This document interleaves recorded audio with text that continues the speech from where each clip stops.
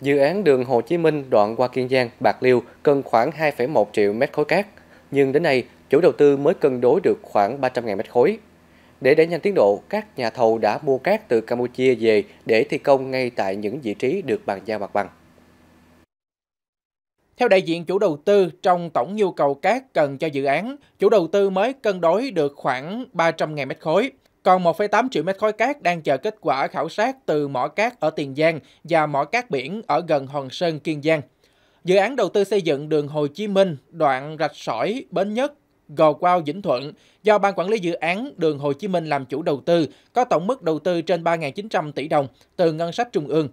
Dự án có chiều dài tuyến gần 52 km, giai đoạn hoàn chỉnh theo quy mô đường cấp 3 đồng bằng, 4 làn xe, vận tốc thiết kế 80 km/h. Dự án khởi công ngày 6 tháng 3 và dự kiến cơ bản hoàn thành trong năm 2025.